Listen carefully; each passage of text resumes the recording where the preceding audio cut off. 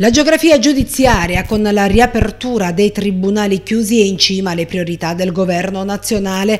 Anche il sottosegretario alla giustizia Francesco Paolo Sisto, dopo le dichiarazioni dell'onorevole Del Mastro delle Vedove, ha garantito un nuovo atto che presto potrebbe riportare l'operatività dei tribunali. Strutture giudiziarie di prossimità che diventano un vero e proprio deterrente per i territori difficili come quello di Capitanata. Ma, eh, la geografia giudiziaria eh, va certamente rivista e nei programmi di governo una riflessione approfondita, ovviamente che non potrà riguardare la singola zona del singolo tribunale, ma dovrà avere un respiro di carattere nazionale. Il Ministro Nordio è fortemente orientato a modificare gli assetti del 2012, vedremo un pochino come intervenire nelle, nelle varie zone. C'è un problema ovviamente di costi, noi siamo convinti che le regioni possano e debbano intervenire per aiutare il Ministero eventualmente a sopportare ulteriori aggravi pur di garantire una giustizia di prossimità, è indubbio che il cittadino ha diritto di vedere una giustizia quanto più possibile vicina a casa sua, un po' come per gli ospedali.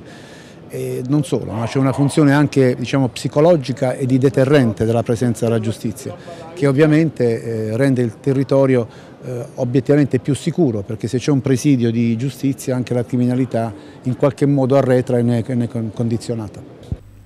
Rassicurazioni dunque non solo sulla geografia giudiziaria, quelle giunte ieri sera a Foggia dall'onorevole Francesco Paolo Sisto in città a sostegno del candidato sindaco Raffaele Di Mauro. Ha parlato anche di un centrodestra compatto e coeso come unica via politica per voltare pagina a Foggia.